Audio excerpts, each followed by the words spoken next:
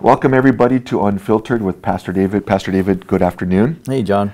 Again, thank you for tuning in. Pastor, the question I want to ask today you know, uh, being able to be serving in the ministry, I, I'm able to encounter different people that attend different fellowships. And one of the things that I've noticed is that oftentimes they're they're stamped with the personality of their pastor. Mm-hmm. And uh, sometimes it, it, it has a, a distinct stamp, and you can often tell who their pastor is. As a pastor yourself, is there a stamp that you want to put on the congregation, or how does that stamp affect the church? Well, I would be very careful. That's an interesting question. In the way you, in the way you posed it, I would first respond by saying I, I wouldn't want my stamp to be on them at all. I mean, that's not that's not the um, obviously that wouldn't be the reason that I would want to be influencing them. So, on the one hand, I don't think that uh, the pastor necessarily intentionally stamps the congregation. And yet, on the other hand, you know, like has a tendency of begetting like. And so, people will come to a church that has a, uh, a minister, will say, who, who they, they respect, love, admire, but in many ways will, ad, um, what's the word I'm looking for? Uh, they identify with him because they're similar to him. Mm-hmm. There are things that he may say that they would say, well, yes, I agree, and things like that. And what happens over time is what they're hearing from the pulpit is either going to appeal to them or it's going to repel them. Normally, we have a tendency of of going places and listening to those that that are pretty much like us or like one of our friends. So that's just that's pretty much a normal thing. And and so you can encounter people from different fellowships and very often you can you can tell where they came from if you're familiar with the churches. I've done that over the years more than once. I've prayed with people in the past and I've heard the way they pray and I recognize this pastor.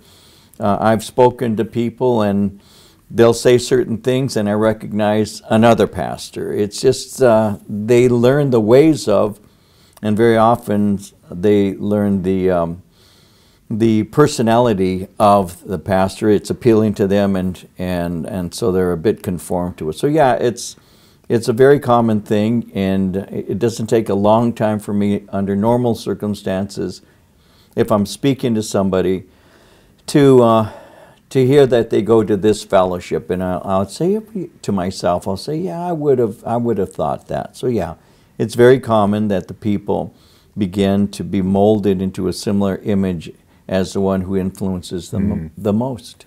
The things that matter to him are things that they learn to have matter to them. They may have already had a certain sense that this is important, but it only develops it further.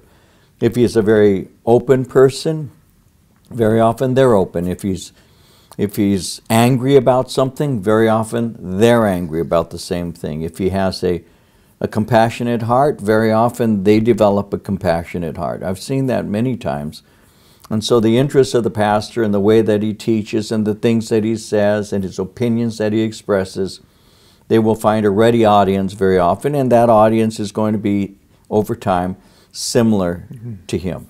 And does that have a direct effect on the church itself, that particular church? It's interesting because, as you're mentioning it, I remember when I was attending a, a, specific church many years ago, and they went out for evangelism. And the church that I was a part of many, many years ago, as part of the men's home that I was in, was a very hellfire and brimstone. Mm-hmm. And so those who are going out and doing the door to door evangelism, was doing that same type of I don't want to say behavior, but what they learned mm-hmm. from the pulpit, mm-hmm. and uh, and not that the, the the word of God didn't go out, it was just the approach, and I and I saw something there, thinking that's pretty aggressive. Yet the gospel still went out, but yet I, I understand when when you say that that there is a stamp that can be put on, whether it's unintentional or not. It's just going to be the like you said, like begat like. Mm-hmm. But does that have a direct effect to the church itself? It certainly does. I really feel that the pastor should be seeking the Lord to be conformed to his image. And so when you're reading your scriptures from old to the new, uh, especially as it pertains to the methodologies of Jesus, the words of Jesus, and you know the things that he said, when you begin to ask the Lord to mold you into his image, to conform you into his image, again, a lot of times people will see one thing about him and like that. So in Matthew 23, Jesus says, You whitewash tombs or you brood of vipers, like John the Baptist said. They, they will have a, a kinship to that. And so, yeah, there are, there are churches, and I've been around the same ones that you have in that, in that regard. And, and there's only one way, and that's with your pedal all the way to the metal, you know, and, and you're going to go to hell. There are others who have a, a different kind of approach it just depends. You know, Pastor Chuck Smith influenced quite a number of people, but there, there are very few people who can model themselves after his model. This is a man who taught so many times through the Bible, mm-hmm. went to Israel 66 times. Wow. You know, so many years of ministry in his life, traveled as an evangelist and all. He had so much experience, and he had such a gentle way and compassionate and grace filled way not everybody has that ability, that maturity, is capable of doing those kinds of things.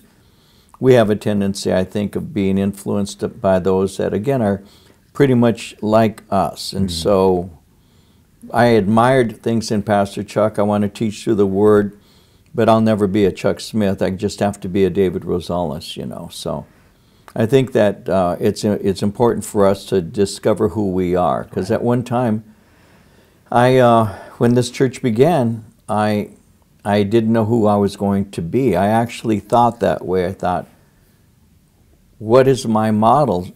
I knew that there was no way that I could be a Chuck Smith. I was 30 years old. Um, I, I didn't want to be an evangelist and I didn't want to be an exhort. I didn't know what to be. And I prayed a lot, John. I honestly did. Father, who am I supposed to be? And the answer came back very clearly and very obviously be yourself. Be yourself. You know, Paul speaks concerning the body. Not every, not every portion of it is an eye or an ear, right? A hand or whatever. The body is made up of many members, but it's one body. So you just need to know what portion of the body you are, what your gifts may be, and just be. Um, be honest with those gifts and just exercise them as you do. Again, uh, I encounter people from various fellowships. The central thing is are they being taught the Word of God? Are they being conformed into the image of Christ?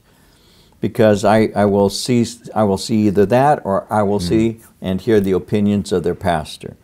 Some of them are the most argumentative people you're going to encounter. Sometimes there's an, uh, I'm sad to say, there's an arrogance that you encounter.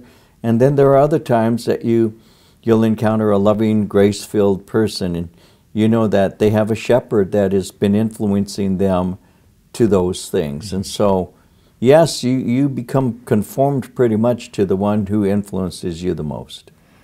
Well, thank you, Pastor. That's interesting uh, because as you're saying that, there's a, as you mentioned, there's always a bent to not always, but a lot of the people I come across, they're either bent to one side and, it, and it's kind of their focus, and mm-hmm. and uh, and so I thought that was something interesting to ask you about because you can, as long as you spend some time with them, you can spend see you'll pick it up. You'll pick it up, and so yeah. well, Pastor, thank you so much for sharing, and want to thank you guys for tuning in. Just a couple of updates or a couple of things that we have coming up. We have our uh, December 18th, we have the Katinas coming out. Yeah, that's and they'll be doing uh, both our worship services that Sunday morning at 8.30 and 10.45.